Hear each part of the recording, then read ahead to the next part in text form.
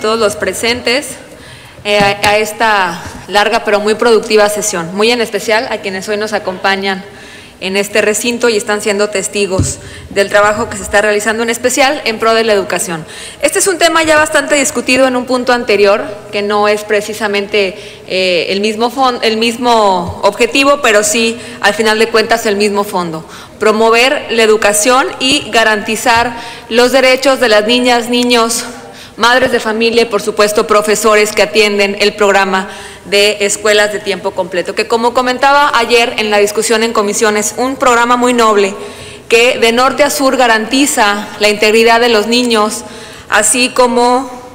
de la, la seguridad que tienen sus madres para que mientras ellas trabajan, las niñas y los niños puedan estar no solamente eh, siendo educados, sino bien cuidados y con los alimentos garantizados. Aquí lo único que la Comisión de Educación, de la cual formo parte, está solicitando es su apoyo para que le pidamos de manera respetuosa a la Cámara Revisora, en este caso la Cámara de Senadores, tenga muy en cuenta el garantizar este presupuesto para el ejercicio fiscal 2021. Si bien el secretario de Educación, Esteban Moctezuma, se ha manifestado al respecto y ha afirmado que este programa no se cancelará, nosotros lo que estamos haciendo con este exhorto es reforzar esta afirmación, es respaldar la voluntad del secretario de Educación a nivel federal y solicitarle como Estado eh, turístico, en el que además miles de madres de familias dependen de este programa para poder realizar sus trabajos en un horario diferente al habitual,